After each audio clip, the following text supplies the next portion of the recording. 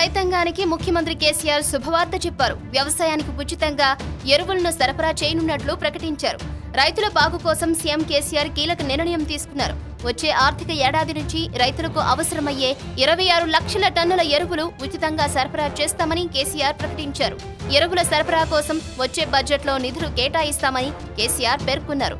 Budget ఆమోదం పొందిన వెంటనే తొలి నిధులు అన్నదాతలకే విడుదల చేస్తామని ప్రకటించారు. టీఆర్ఎస్ ప్రభుత్వం ఉన్నంత వరకు రైతులకు ఉచితంగానే ఎరువులు సరఫరా చేస్తామని కేసీఆర్ ప్రకటించారు. ఎకరానికి రెండు దుక్కి మందు మూడు యూరియా బస్తాలను ఉచితంగా ఇస్తామన్నారు.